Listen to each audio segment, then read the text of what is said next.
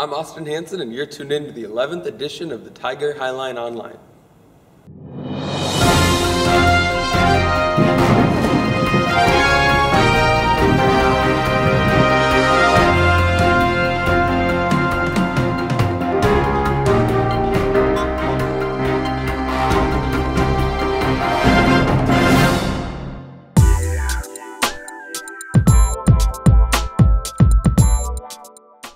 Here's a story about spring break mission trips by Lisa, Christina, and Emily.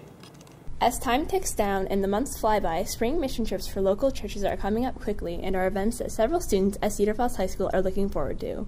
This year, a mission trip organized by the Orchard Hill Church will be going to Nuevo Progreso, Mexico, and will cost $400. The head of this particular group is Tim Walson. Over spring break 2012, I think we leave Friday night, March 9th, and we'll be back the following Friday. And so one of the things we do is we collect clothes here, and we collect fundraising for us to be able to buy rice and beans. We load up a huge trailer and take clothes and bikes and the rice and beans down, and we spend a whole day distributing those around the town. Um, there's all the information online, and you can actually sign up online as well at uh, cedarvalleystudents.org. There are many more mission trips later in the year organized by churches throughout the Cedar Valley. Many have found these to be very moving and eye opening experiences. Chantel Danielson, a sophomore, recently went on a mission trip. We kind of learned about the homeless population and we defied the stereotypes that we had in our mind and it was replaced with the relationships that we that we made with these people and we kind of learned how these people are really like and not just what we had in our head. This is Emily Peck, Christina Brammer, and Lisa Morales reporting for the Tiger Hi-line Online. Here's a story about the Cedar Falls High School Jazz Band. The story is by me and Austin Hanson. The Hudson Auditorium was filled with jazz fans last Saturday as high school jazz bands from around the state came to compete against one another. Competing in the contest were both Cedar Falls jazz bands 1 and 2. I think for, for both bands, I, th- I thought all the kids played really well. It was good performances from both groups. It was nice when it all kind of uh, came together at the right time. In the contest, uh, we see other bands, and it's really uh, a lot of pressure for us to perform well and to show the other bands that we're really good. And sometimes we see other bands and what they do, and can we learn from other bands. There's a lot more pressure at contests because you're getting judged by three judges, and then you see them looking at you and writing notes down, so you never really know what they're going to say. Despite shortened practice times, both Cedar Falls bands came out of the contest with a Division One rating from all three judges. You know, for for the second band that I direct, I was I was really happy that it all came together. Um, we've we've had a different rehearsal schedule this year uh, with the uh, the different requirements now for early bird PE and health. I wasn't able to start up doing our 7 a.m. rehearsals until second semester. We played very well. I thought our tone and our solos were great, and I give it to all the sections. I thought we did a great job.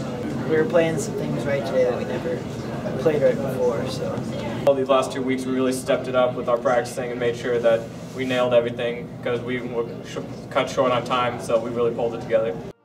The hard work doesn't stop here as preparation for state contest in Des Moines begins right away. This has been Austin Hanson and Austin Schaub reporting for the Tiger Hi-line Online.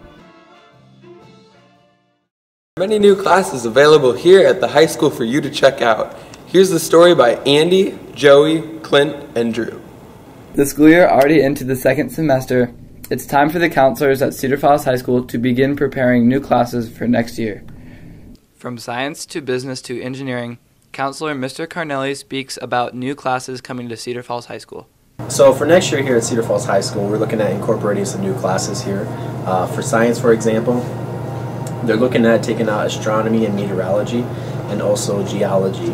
Um, the two classes they're going to add back in next year are going to be earth science, which will be one semester class, which will include some of that astronomy and meteorology, but also incorporate some more earth science topics as well too, um, along with integrated science, which is really going to be kind of a new age science.